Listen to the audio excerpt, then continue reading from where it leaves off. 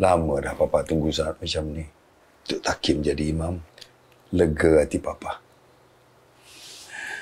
Takim memang anak yang baik. Sabar, Kim. Aku dah cuba bersabar, bukan aku tak cuba bersabar. Dah cuba. Tapi aku takut jangan disebabkan perempuan tu aku hilang sabar dengan dia. Tak apalah. Kau dengan Daddy kau pun dah okey kan? Ha? Eh, Daddy kau pun dah dapat tahu lah. Lebih perangai tu sekarang macam mana. Ha? Lama-lama nanti, Waalaikumsalam. Mak, ni nak ke taman nasi hari ni ramai pula orang kan? Oh. Dah makan dah?